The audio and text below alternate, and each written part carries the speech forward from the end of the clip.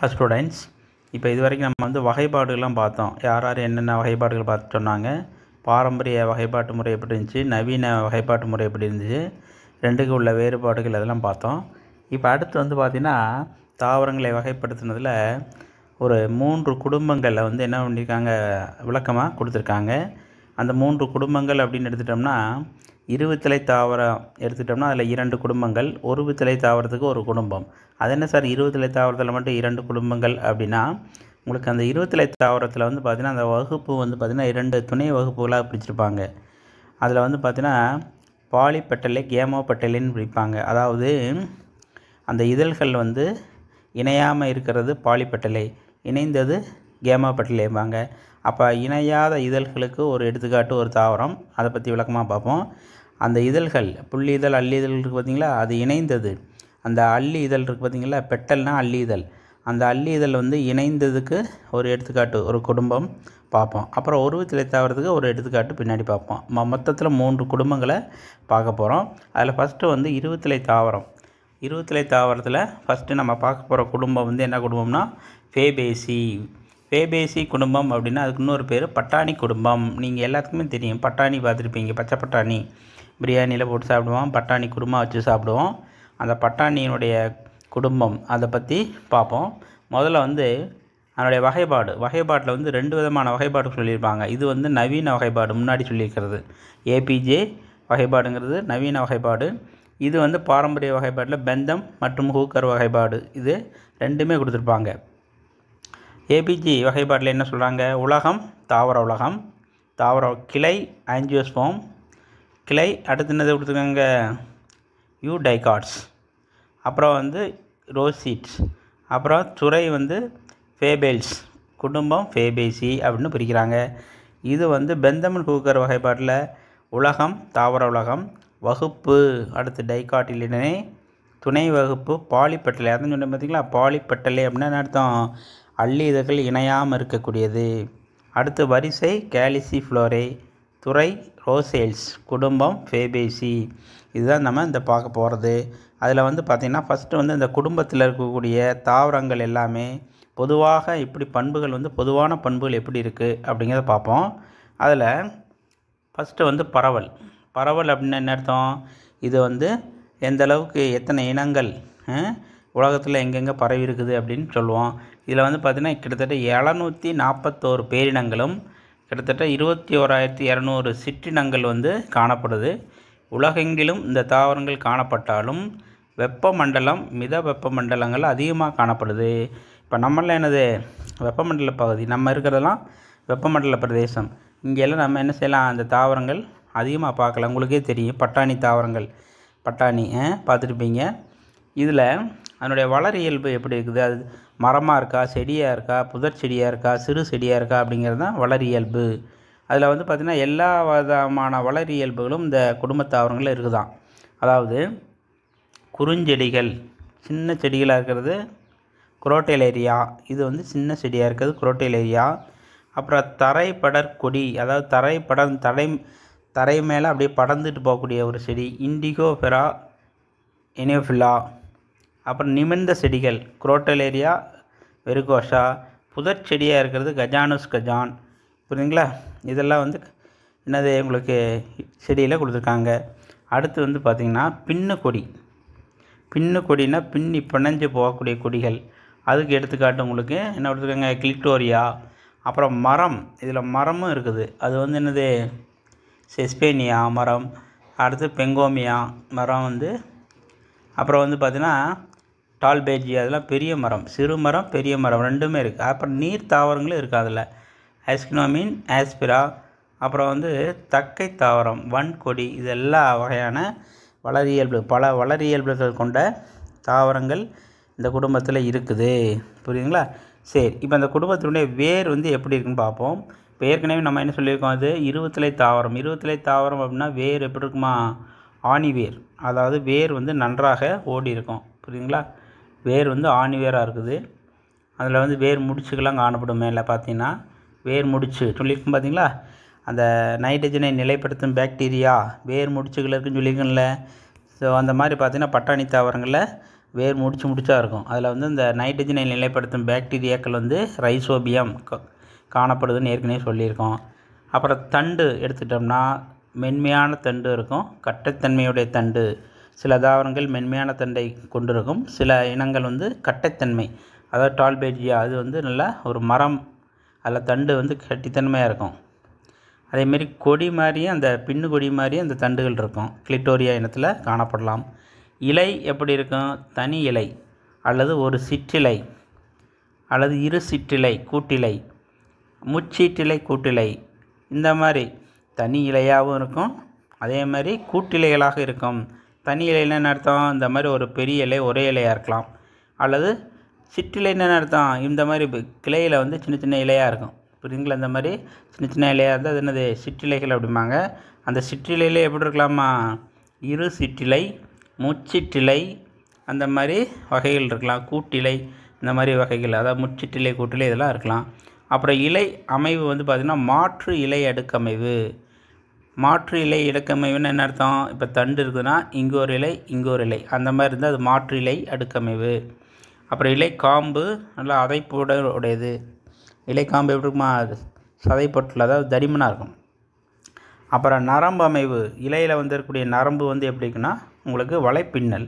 அது இருபத்தில தாவரத்துக்கே உரிய ஒரு பண்பு சிறப்பான பண்பு. வலைப்பின்னல் நரம்பு அமைவுடன் அந்த இலைகள் காணப்படுது. அப்புறம் நுனி சிற்றிலைகள் எடுத்துட்டோம்னா இந்த பைசம் சட்டையும் சொல்கிறோம் பார்த்திங்களா? பட்டாணி. நம்ம கிரிகோ ஜோஹன் மெண்டல் ஆராய்ச்சி பயன்படுத்தினார்ல பட்டாணி தாவரம் பைசம் சட்டயம் அவருடைய நுனி சிற்றிலை வந்து எப்படி மாறியிருக்குமா? பற்று கம்பியாக மாறியிருக்கும். பார்த்தீங்கனால தெரியும் அந்த நுனி சிற்றிலை வந்து அப்படியே சுருள் சுருளாக அப்படி ஸ்ப்ரிங் ஸ்ப்ரிங் மாதிரி மாறியிருக்கும்.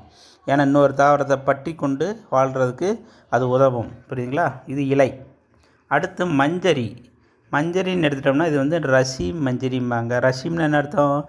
நுனியில் வந்து அந்த மலர்கள் வந்து வளர்றது. நுனி வளர் மஞ்சரி குரோட்டலேரியா வெருகோசா அப்படிங்கிற தாவரம். அப்புறம் பேனிக்கில் அப்படிங்கிற மஞ்சரி டால்பெர்ஜியா கேட்டஃபோலியாவில் இருக்கக்கூடியது பேனிக்கல். அப்புறம் வந்து இலைக்கோணத்தில் இருக்கக்கூடிய மலர்கள் கிளெக்டோரியா ஸோ டெர்னேஷியா அந்த தாவரத்தில் இருக்கிறது. இலைக்கோணத்தில் மலர்கள் இருக்கும் தனி மலராக. இது வந்து மஞ்சரி. அடுத்து மலர் அப்படின்னு எடுத்துட்டோம்னா இந்த மலருக்கு என்ன இருக்குது? பூவழி செதிலுடையது. பூக்காம்பு செதிலுடையது. பூக்காம்பு உடையது. முழுமையானது. இருபால் மலருடையது. ஐந்தங்க மலர். இதெல்லாம் வந்து ஏற்கனவே நீங்கள் அந்த புற அமைப்பில் படிச்சிருப்பீங்க. பூவடி செதில் அப்படிங்கிறது அந்த மலரினுடைய கீழே ஒரு சின்ன செதில் மாதிரி இருக்கும். பூக்காம்புனா அந்த க மலரினுடைய காம்பு கீழே அதில் செதில் காம்பு பூக்காம்பு உடையதுன்னு என்ன அர்த்தம்? மலர் தாங்கக்கூடிய அந்த காம்புக்கு தான் பேர் பூக்காம்பு. முழுமையான மலர் அப்படின்னா என்ன அர்த்தம்? எல்லா அந்த வட்டங்கள் இருக்கும். புள்ளி வட்டம் மல்லி வட்டம் மகரந்தால் வட்டம் சூலக வட்டம் எல்லாமே இருந்தால் அது முழுமையானது. இருபால் மலர்னா என்ன அர்த்தம்? ஆண் பாகம் ரெண்டுமே இருக்கும். ஐந்தங்க மலர் அப்படின்னா புள்ளி இதழ் அஞ்சு அல்லிதழ் அஞ்சு மகரந்தால் அஞ்சு இந்த மாதிரி ஐந்து நடுக்குகளாக எல்லா பாகங்களும் இருந்தால் இது ஐந்தங்க மலர். அப்புறம் வேறுபட்ட இரு அடுக்குகளில் அமைந்துள்ளது. புரியுதுங்களா? அப்புறம் இருபக்க சமச்சீருடையது. இருபக்க சமச்சீர் அப்படின்னு என்ன அர்த்தம்? அதை அந்த மலரை வந்து எந்த பாகத்தில் கட் பண்ணாலும் நமக்கு சமமான பாகங்கள் கிடைக்கிறது. அப்புறம் சூலக மேல் மலர் அல்லது சில சமயம் சூலக சூழ் சூலகம் சூழ் மலர் அப்படிம்பாங்க. புரியுதுங்களா? சூலகம் மேல் மலர்னால் என்னது? சூலகம் வந்து மேலே அமைந்து மற்ற பாகங்கள்லாம் கீழே அமைந்திருக்கிறது. புள்ளி வட்டம்னு எடுத்துட்டோம்னா புள்ளிகள் எத்தனை? ஐந்து இதழ்கள் புள்ளி இதழ்கள் பசுமையாக இருக்கும். குழாய் வடிவத்தில் அந்த புள்ளிதழ் வந்து இணைஞ்சு காணப்படக்கூடியது. புள்ளி இதழ்கள் இணைஞ்சிருக்கும். நல்லா வச்சுங்க நிலைத்த புள்ளி வட்டத்தன்மையுடையது தொடு இதழ் அமைவு தழு இதழ் அமைவு தனி புள்ளி மலரின் அச்சு விலகி காணப்படும். அப்போ அந்த புள்ளி இதழ்கள் எப்படி இருக்குமா? ஐந்து இது இருக்கும் பசுமையாக இருக்கும் குழாய் வடிவத்தில் இணைஞ்சிருக்கும். நிலைத்த புள்ளிவட்டம். நிலைத்த புள்ளிவட்டம்னு என்ன அர்த்தம்? கனி உருவான பின்னாடி அந்த புள்ளிவட்டம் இருக்குமா? இதழ் அமைவு வந்து எப்படி? தொடு இதழ் அமைவு. தொடு இதழ் அமைவுனா என்ன அர்த்தம்? ஒரு இதழினுடைய விளிம்பு இன்னொரு இதனுடைய விளிம்போடு ஒட்டியிருக்கிறது. அதான் தொடு இதழ் அமைவு. தழுவு இதழ் அமைவுனா ஒரு இதனுடைய ஒரு விளிம்பு இன்னொரு இதனுடைய விளிம்புக்கு மேலே அல்லது கீழே இருக்கிறது. அந்த மாதிரி இருக்கிறது. அப்புறம் அள்ளி வட்டம். அள்ளி இதழ்கள் ஐந்து இருக்கலாம். தனித்த தனித்த அல் அள்ளி இதழ் தான் தனித்தவை. தனித்தவைன்னு என்னது?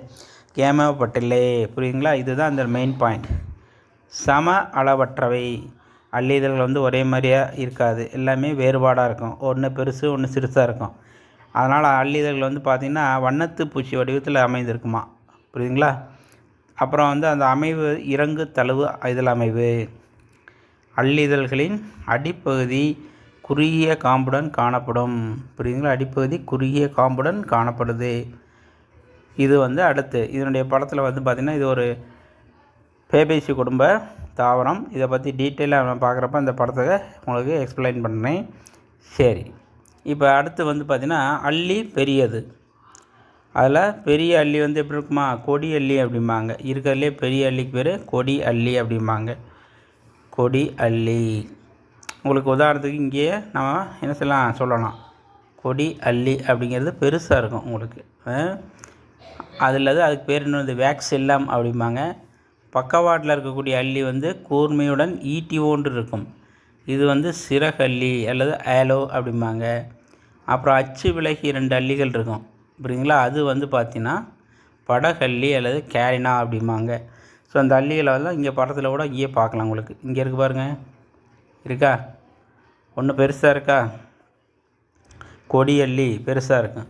சிறகல்லி அப்படியே பறவையினுடைய சிறகு மாதிரி ரெண்டு சைடில் இருக்கும் அப்புறம் ரெண்டு கீழே இருக்குது பார்த்திங்களா? படகு மாதிரி இருக்குது போட் போட்டு மாதிரி இருக்குது பார்த்திங்களா? ஒவ்வொன்றும் பார்த்திங்களா? போட்டு மாதிரி பார்த்திங்களா? ரெண்டு இணைஞ்சிருக்கும்.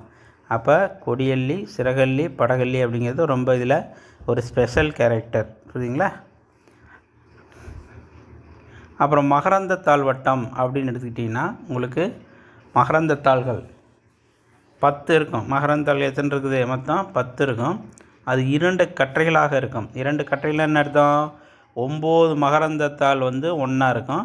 ஒரு மகரந்தத்தால் தனியாக இருக்கும். புரியுதுங்களா? அப்போ இது ஒரு கற்றை இது ஒரு கற்றை. அப்போ இரு கற்றைகளாக இருக்குன்னு சொல்லாமா அதை? மகரந்தத்தாளுடைய அமைப்பு வந்து இந்த மாதிரி இருக்கும். அப்புறம் மேற்புறத்தில் உள்ள ஒரு மகரந்தத்தாள் மட்டும் தனியாக இருக்கும். அதான் ஒம்பது ஒட்டி இருக்கும் ஒன்று மட்டும் எப்படி தனியாக இருக்கும். புரியுதுங்களா? அப்புறம் வந்து பார்த்திங்கன்னா இந்த ஆஸ்கினோமீன் ஆஸ்பரா தாவரத்தில் மகரந்த கம்பிகள் வந்து இரு கட்டைகளாக இருக்குமா? இதில் வந்து இரு கட்டைகள் அதாவது பத்தில் வந்து ஒரு அஞ்சு இது வந்து எப்படி இருக்குமா? இந்த மாதிரி ஒன்றா இருக்கும். இன்னொரு அஞ்சு இது எப்படி இருக்குமா? அந்த மாதிரி இருக்கும். புரியுங்களா? அப்போ இது அஞ்சு இது அஞ்சு. மொத்தம் பத்து வந்து இந்த மாதிரி ரெண்டு கட்டைகளாக மகரந்த கம்பிகள் வந்து இணைஞ்சிருக்கும். புரியுதுங்களா? அப்புறம் ஒரு கற்றை மகரந்தத்தாள்கள் சில தாவரங்களில் இரு நீளம் இரு வடிவங்களில் காணப்படுகிறது. ஒரு சில இதில் வந்து மகரந்தத்தாள்கள் ஒரே ஒரு கற்றையாக சில தாவரங்களில் இருக்கும். இரண்டு நீளம் இரு வடிவங்களில் காணப்படுகிறது. உதாரணமாக குரோட்டோலேரியா அப்படிங்கிற தாவரத்தில் எடுத்துக்கிட்டிங்கன்னா குரோட்டோலேரியா தாவரம் அஞ்சு மகரந்த கம்பிகள் நீளமாக இருக்கும். அஞ்சு மகரந்த கம்பிகள் வந்து நீளம் குறைவாக இருக்கும். அதாவது இரண்டு மட்டங்களில் காணப்படும் அப்படிம்பாங்க. புரியுதா? மகரந்த பை நீண்டு இருக்கும் ஈட்டி ஒன்று இருக்கும் மகரந்த பை வந்து அஞ்சு பெருசாக இருக்குது. அதான் பாருங்கள் ஐந்து சிறியவை நுனி மழுங்கியும் இருக்கும் அப்போ பாருங்கள் பத்தில் வந்து ஐந்து மகரந்தத்தாளில் இருக்கக்கூடிய அந்த மகரந்த பைகள் நீண்டு ஈட்டி மாதிரி இருக்குமா மீதி அஞ்சு நுனி வந்து மழுங்கி இருக்கும் மொன்னையாக இருக்குமா? மகரந்த பையில் அந்த மாதிரி அமைப்புடையது இருக்குது பத்தில். புரியுங்களா? சரி. அடுத்து மகரந்த பைகள் அப்படிங்கிறத எடுத்துட்டோம்னா இரண்டு மடல்கள் உடையது. மகரந்த பை இரு மடல்களை உடையது. மகரந்த பைகள் அடி இணைந்தவை நீள்வாக்கில் வெடிக்கக்கூடியது. அது எப்படி வெடிக்குது அப்படின்னா நீள்வாக்கில் வெடிக்குது. ஸோ இது மகரந்த ஆண்பாகம் மகரந்த தாழ்வட்டம் முடிஞ்சு. அடுத்து சூலகவட்டம். சூலகவட்டம்ங்கிறது என்னது? மலரின் பெண் பாகம் இந்த குடும்பத்தில் பார்த்திங்கன்னா ஒரு சூலக இலையிலானது இருக்கும். அதாவது ஓர ஒரு அறை இருக்கும். மேல்மட்ட சூலகம். ஒரே ஒரு அறை அந்த சூலக இலை வந்து ஒன்று தான் இருக்கும். மேல்மட்ட சூலகம். சூழ்கள் பல இரண்டு வரிசையில் வந்து மாறி மாறி விளிம்பு சூழ் ஒட்டுமுறை. சூழ் ஒட்டுமுறையில் என்ன வகை? விளிம்பு சூழ் ஒட்டுமுறையில் அமைந்திருக்கும். விளிம்பு சூழ் ஒட்டுமுறை. அடுத்து சூலகத்தண்டு தனித்த தனியாக இருக்கும். வளைந்தது. சூழ் முடின்னு எடுத்துட்டோம்னா தட்டையாகவோ அல்லது தூவிகளுடன் காணப்படுது. அப்புறம் கனி. இதனுடைய கனின்னு எடுத்துட்டோம்னா சிறப்பு. இது என்னுடைய கனி என்ன? இருபுற வெடிகனி. இந்த குடும்பத்தில் இருக்கலாம். வெதிகள் அந்த கனிகள் எப்படி வெடிக்குமா? இருபுறம் வெடிக்கக்கூடியது. சில சமயங்களில் வெடியா கனியாகவும் இருக்கும். அரிதாக விதை இடை பிரிகனி. இதெல்லாம் வந்து காணப்படும் அராஜிஸ் ஹைபோஜியா அப்படின்னு எடுத்தோம்னா உங்களுக்கு தெரியும். அராஜிஸ் ஹைபோஜியாங்கிறது கடலை நிலக்கடலை பார்த்துருப்பீங்க. அதில் வந்து கனி எப்படி இருக்கும் புவி புதைக்கனி புவி புதைக்கனின்னு என்ன அர்த்தம்? பூமிக்கு அடியில் புதைஞ்சிருக்கக்கூடியது. அப்புறம் வந்து பார்த்திங்கன்னா அதாவது கருவுறுதலுக்கு பின்னாடி சூலகப்பையின் காம்பு ஆக்கு திசுவாக மாறி வளர்ச்சியடைந்து கருவுற்ற சூலகப்பையை மண்ணிற்குள் செலுத்துகிறது. சில பேருக்கு டவுட் வரும். ஏன் சார்? கடலை செடி மேலே பூ பூக்குது. ஆனால் அது வே- காய் எங்கே ஆகிக்குது மண்ணுக்கு அடியில் ஆகிக்குதே சார். பூ பூக்கிற இடத்துல தான் சார் காய் கனி உருவாகும். அது என்ன சார்? மேலே பூ பூத்துட்டு கீழே போய் காய காய்க்குது. அதுதான் காரணம். இதுக்கு தான் சொல்கிறாங்க பாரு. அதுக்கு என்ன காரணம்?